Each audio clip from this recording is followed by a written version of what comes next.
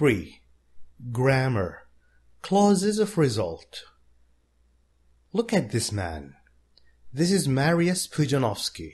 He is five times world's strongest man champion from Poland. He is strong. He can lift 100 kilograms.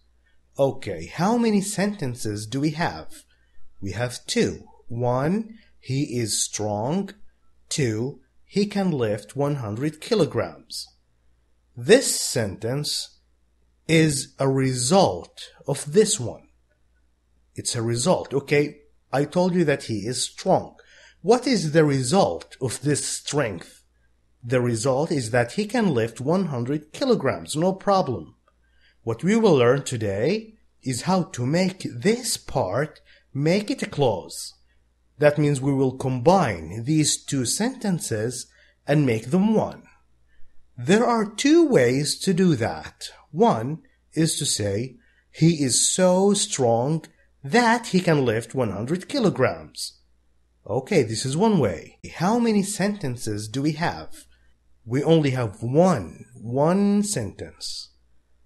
Okay, the other way is to say he is such a strong man that he can lift 100 kilograms. Alright, is there a difference between this and this?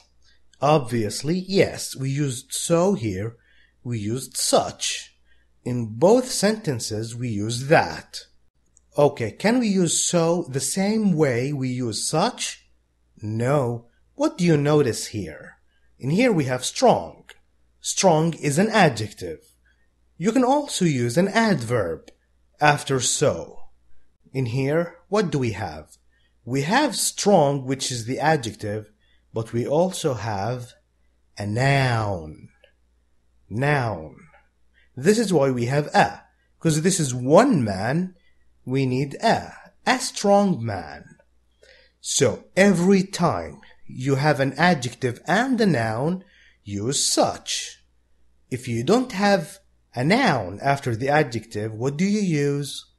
You use so. And we finished today's grammar. What do you think? Super easy, right? Before I show you the exercises uh, on page 49, take this adjective.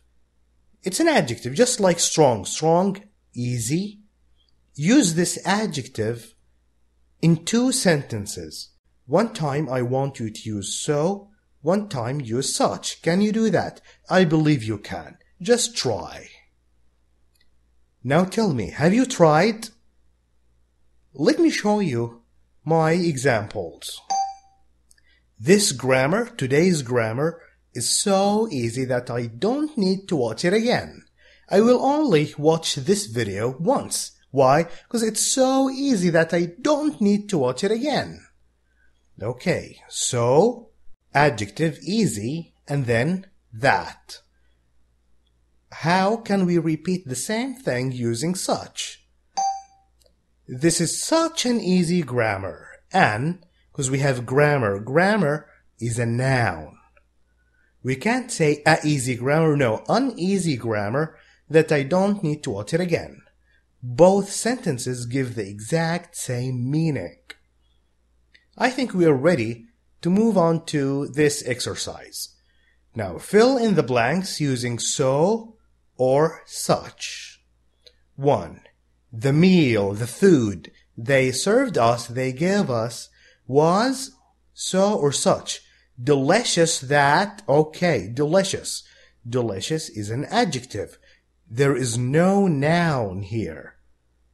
So, so delicious that we ate it immediately. We didn't wait. Two, we had a good time. Good, adjective, and time. Time is a noun. A good time. Just like a strong man. Such a good time. Three, it was a big cake a good time, a strong man, such that we couldn't eat it all. 4. Omar has improved much at maths. Oh, look, don't tell me that math is a noun. Okay, much is not an adjective. Much is an adverb, okay? Do we have a noun after the adverb? No, no, we have at. It's very different. So you use so. So much, not such much, okay? For a reason. This one is an adverb, not an adjective. And there's no noun after it. That he has become one of the top students. 5. You've got nice boots. Alright. So or such.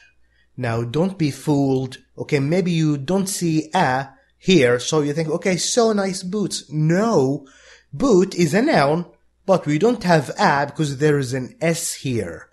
We only use a when it's singular. One, a man, a cake, a good time. But we have boots. When you say good times, do you use a, a good times? No. We had such good times. Because there is no a, because there is an s. So, boots is a noun. Such nice boots that you don't need to buy new ones. 6. My best friend can cook well. Well is an adverb. An adverb. Just like much. So well that I'm sure he'll become a chef.